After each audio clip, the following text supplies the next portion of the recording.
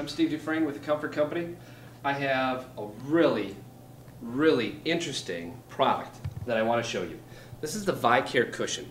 We've carried this for a number of years now, and we found this product over in Europe and thought it to be such a neat, unique item that it's going to change your life and how you do positioning on a day-to-day -day basis that we had to have it. So after carrying it for a number of years, it's become one of our best sellers. What's unique about this cushion is how it works. I'm going to grab one of these two. We have two different types. We have the adjuster, which has five compartments. This being the front, this being the rear.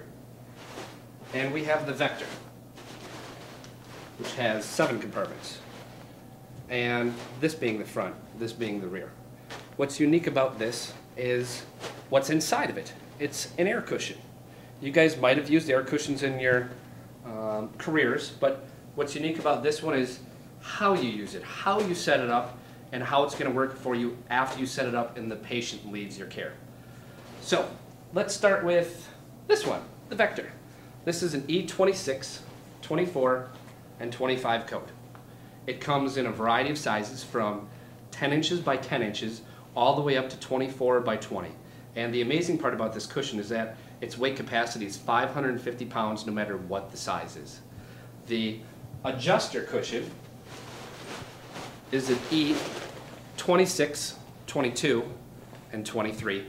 It starts at size 14, 14 and also goes up to 24 by 20 with the weight capacity of 550 pounds. And what's different between these two, other than the code, is really the construction of the compartments. You'll notice that there's a very significant difference between the two. And we'll get into that in a little while of what the differences are, how you use them, when you use them, and how to adjust them accordingly. So we'll start with um, the insides. I'm going to sit down here. Come on closer. We're going to open this cushion up, and inside of it, you're going to see these little blue air cells. These are actually tetrahedrons. There's geometry for you. Why this shape? Why not make them out of little round bubbles? Because a tetrahedron is the best geometric shape to stack against the next and still have shearing capabilities. So they're going to fill all the voids versus if we, use round bubbles and you had them together, you have the negative area. These, no matter how you put them or squeeze them, they always touch and fill every hole in. So, if you imagine all these tetrahedrons, or as we call them, comfort cells, in these compartments, and these compartments are separate from one another. So they open up the whole backside of this cushion, and you take a look in here, you can see this divider right here and here. This divider is the same seam that goes here, and it keeps them separate from one another. So the air cells that I put here cannot migrate over to this compartment or this compartment. And that function works the same on both of these cushions. Now, if you take a look at these, they're loose, they're soft, they're extremely light. This is the lightest cushion you're going to find on the market. Um, and what we can do with this is take those air cells from compartment to compartment and either take away or build up each one of these areas, allowing you to position the patient accordingly. If you wanted the patient to submerge more into this cushion, you could take air cells out and they will sink in.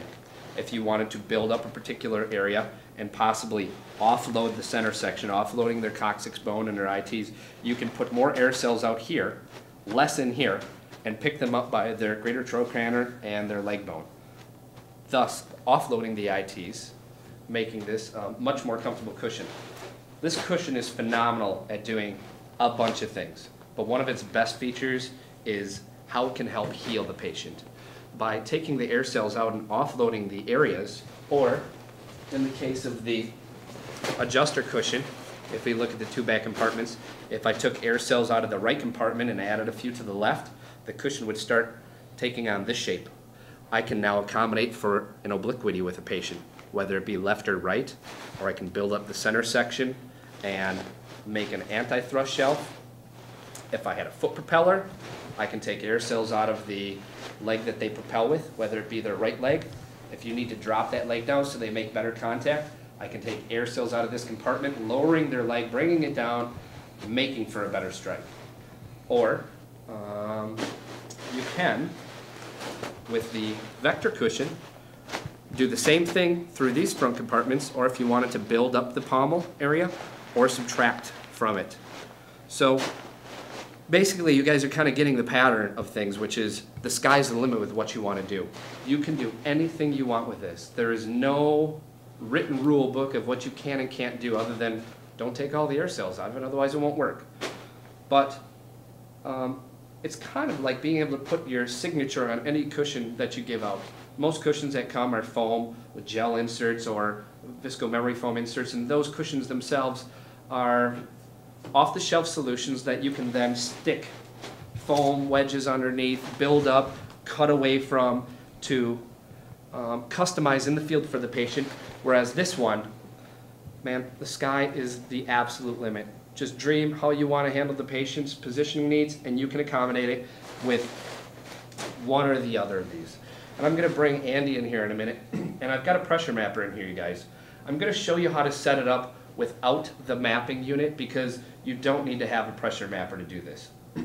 It's really, really easy, and I've, I've got a, a very straightforward, simple process that you might have heard of in your life that will help you really get a good fitting for the patient without worrying about having one of these mapping units. But after I get it set up without using the mapper, I'm going to put it underneath Andy and I'm going to show you guys how good we did with it. Okay, I'm going to put them on the ground and show you using my hands uh, different weights being pushed into the cushion. These two cushions are brand new, out of the box, haven't done anything to them. All I did was take the cover off. Um, and if you come down here with me, I'm going to take my hands as a replication of the rear end. When I push down on here, you'll see that these compartments are equal. The air cells compress, and I can't go forwards. So if your ITs are back in this area, you can't move forward. So when we're talking about stability and positioning and you got patients who slide out of their seat, this is going to hold them there like super glue. so if we push down here, I want to get equal pressure distribution from the left and the right side and from the back to the front. And how we do that, as we said earlier, is by migrating the air cells to either left or right, front or back, by using the zippers with the cover off, with the patient sitting in the cushion, on the cushion. Sorry. Okay, I'll start by putting our stock adjuster cushion down, and I'm going to have Andy come over here and sit on this for us, all right?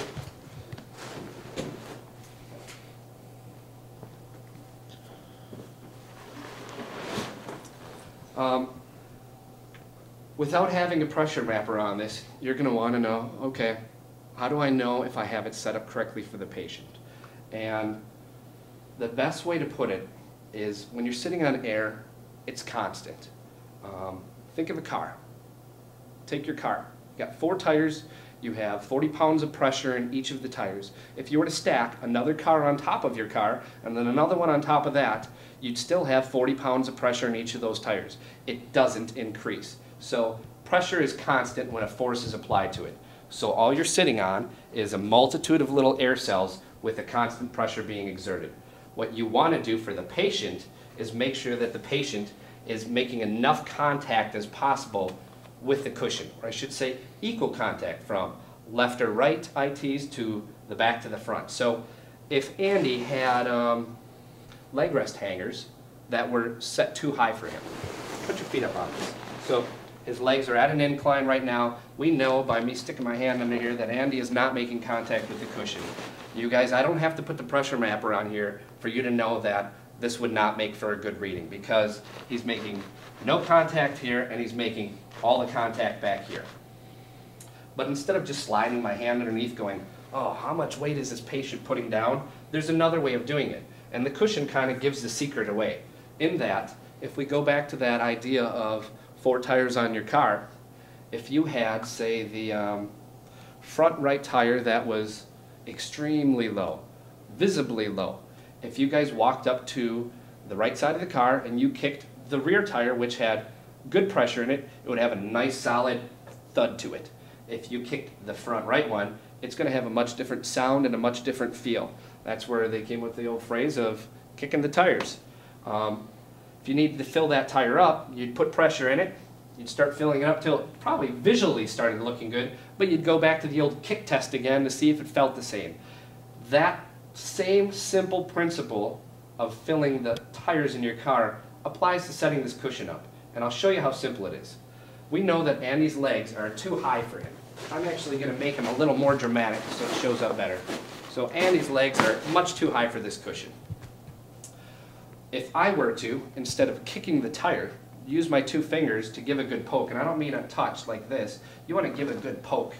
And what you want to do is poke into the cushion. So we know Andy's not making contact here, right? And if I poke my fingers in, I can collapse this. It is no difference of me pushing on this compartment versus your feet pushing on this, right? However, on the back side, if you come around here, we know where all of Andy's weight is on this cushion. If you look back here, you can almost see visually again how much pressure is in this cushion. I know when I push on this how hard it is. So if we're getting this kind of pressure reading back here and we go back to that front compartment and we push up here, there's nothing here. So just for argument's sake so you guys can see, Andy hop up, I'm gonna put the mapper underneath you. Take a look at this. Sit down again, sir. We're gonna put your feet back up nice and high. And you guys, we're getting a reading up here. This is the back, this is the front compartment. I'm gonna push in the front here, you can see. So we know, as I stuck my hand under here from the side, that Andy didn't have any pressure here. This is not a good reading. We'd like to get a nice, solid point of contact in here, which will help reduce some of the pressures in the back. So, what I would do in this situation is one of two things. I can either take air cells out of the back compartment, lower Andy's rear end down a little, take those air cells, migrate them to the front, and pump up the front compartment, which would then, if we imagine me pumping air cells into here and increasing this compartment, you can see on the mapper that I can get a much more solid reading. Take them away, no pressure. So, why don't we take, instead of moving them, I'll put Andy's layers at the height that they should be. See the nice solid green reading that we're getting, even from front to back? That's because if you come on back over here and we look at this, Andy's actually lowered his leg for us in this situation. Um, we have a nice firm reading. Come around the back.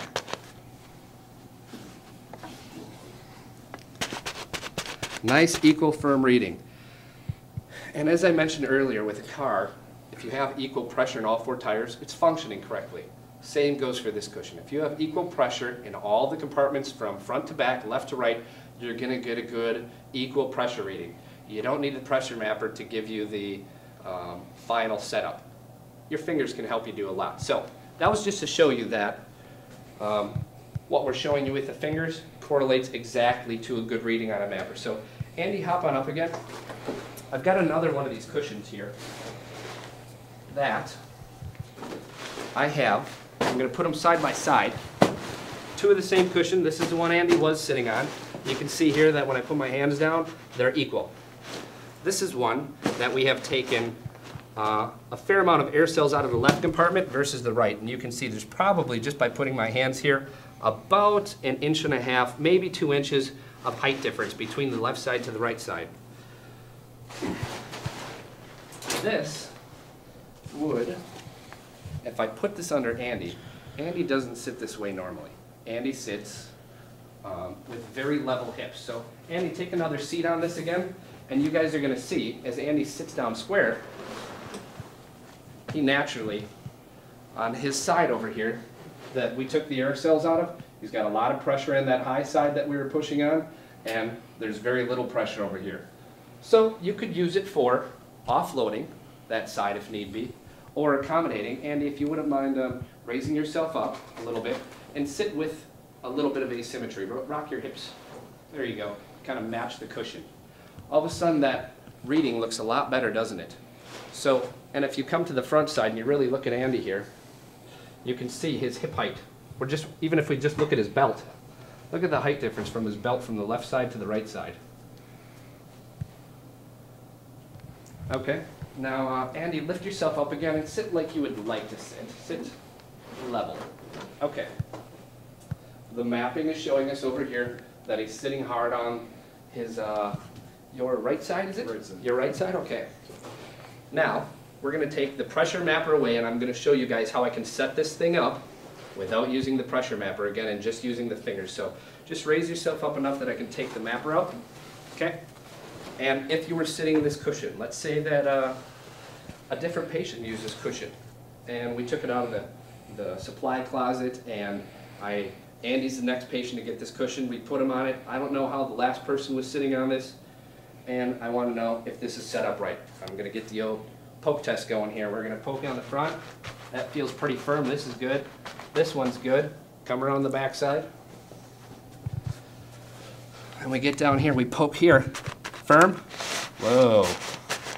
There's a big difference here, isn't there? This is that side that we took the air cells out of. We saw on the pressure mapper what the reading looks like, and that kind of matches exactly what our fingers are telling us here. So I could do one of two things. I can either get air cells, these guys, and I could start stuffing them into the empty compartment, or I could just take air cells out of the right side, the high side, the firm side, and lower him down and try and even him out to that lower side, which is what we're gonna do. So I'm gonna actually, because Andy can, I'm gonna have him stand up for a second. I'm gonna take the cushion out, and you guys will see on the bottom of this cushion, on the adjuster and the vector, they both have on the tag a map of the bottom side with how many air cells are in each compartment based on the size of the cushion that you order. And every size has a different amount of air cells in it. This one um, has, what do we got here, 121 in the rear. And you're probably going, okay, how many air cells do I take out of this side to lower it down to match this side? And you'd go, well, I don't know how many air cells we're taking out. Should I start counting them? You don't really have to count with air because when we're talking about 120 air cells, let's say I took a handful out and I keep taking them out until they look equal and feel equal. If I'm off by five or six air cells from the left side to the right side, I'm telling you, it's such a small percentage. It's a few percentage of difference. And when you're talking about a few percentage of difference in the amount of pressure in a tire, it's not make or break. Um, the air cushions are very, very forgiving when you're pressure mapping with them. So um, what I'm going to do is I'm going to open up this side and I'm going to take enough out of here to kind of feel similar to this one. Open this. And I'm just to start, you know, mashing a few out. And we should be getting close, so I'll zip it up quick, right? And I'll kind of put my hand on here. You can, you can kind of get a feel because these things lay flat. You know, they make a, I can get an idea. Oh, I think this side's still a little high yet. I'm gonna take a few more out.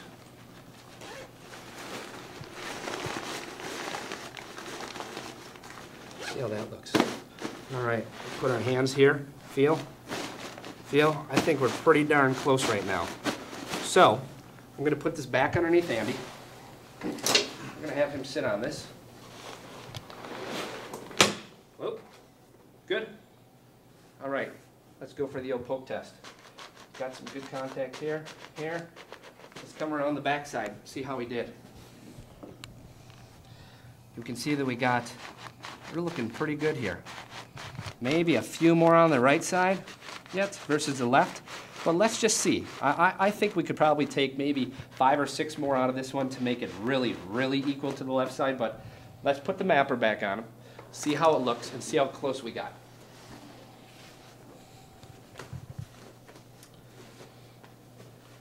Take a seat.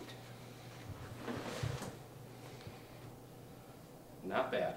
The right side, I said we could take a few more out of to get closer to the left side. There's a subtle difference there. So we'll have Andy hop up one more time. I'll take that handful out. And I could tell that just by pushing on it with my fingers.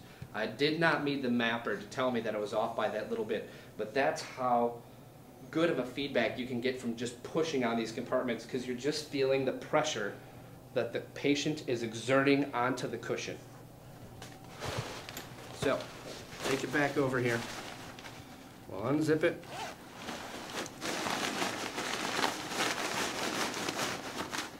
Take a few more out.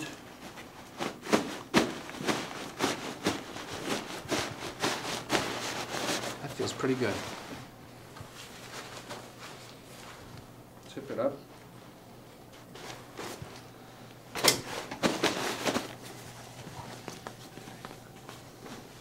Okay, have a seat.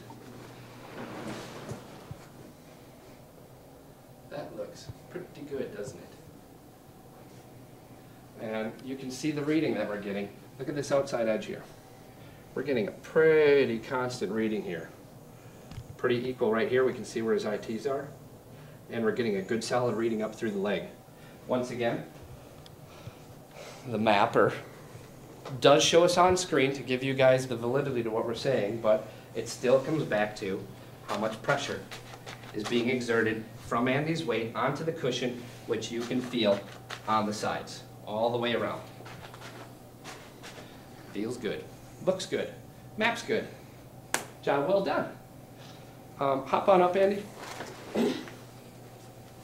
When we uh, look at the other cushion, this was the adjuster.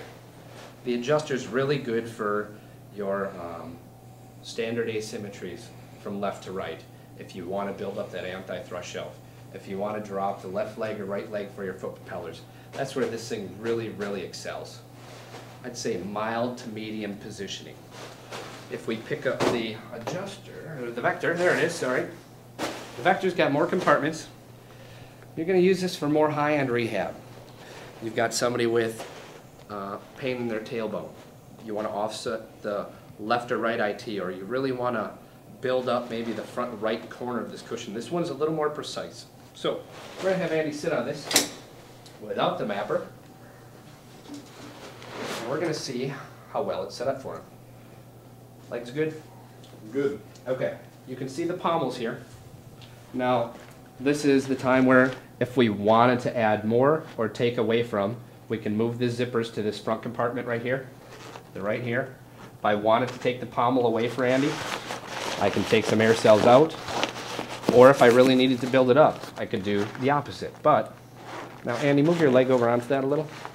Completely goes away. It's level with the front of the cushion. If you lift your leg up and out of the way so I can show here, right there, that's good. You can see the height. So we made it level on the front of the cushion.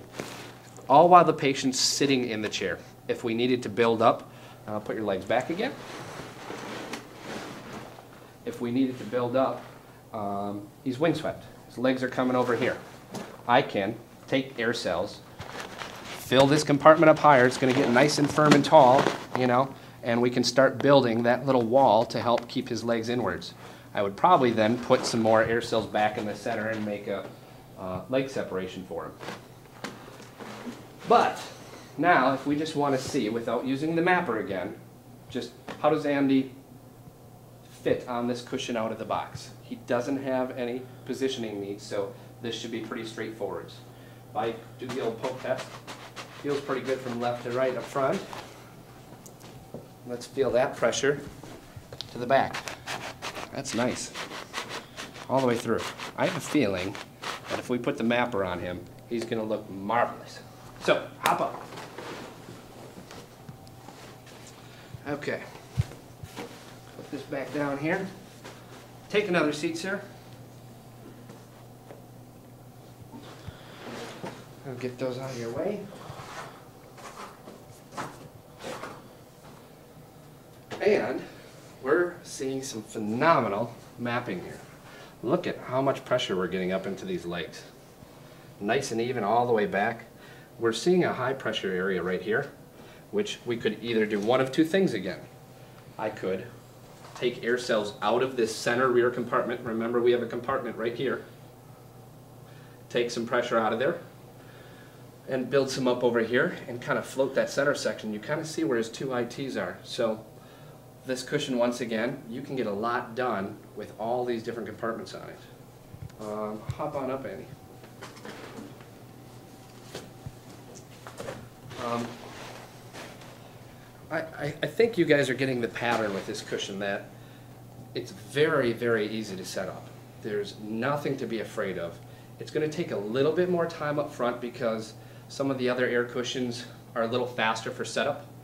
But one of the neat things about this cushion is when you're sitting on it and he sinks into it, the amount of stability that he's gonna get. Remember when I put my hand on that other cushion and I pushed down into it and I said, I'm stuck here, you can't move? I'm gonna show you a really dramatic demonstration here of how stable this cushion is. Andy, sit down on that one more time, please. Um, if you lean left or right or forwards or backwards, you'll kind of see his, he can move his body, but the, his hips, if you look at the belt, look at his belt when he leans back, left and right, his hips stay pretty darn level. And that's because the air cells, when you sat on them, they sheared, they got out of the way, and he sunk into it, and now he's really contoured to the shape of this cushion. So, give me your ankles. I'm gonna give you a pull. Are your brakes on? Yes. Okay. I can pull him across the floor. There's no Velcro on that cushion. And he's not coming forwards. That's the amount of stability that you can get out of this cushion. So, your constant slouchers, how hard is it to slouch? Can you slide forwards? Can you slide that way?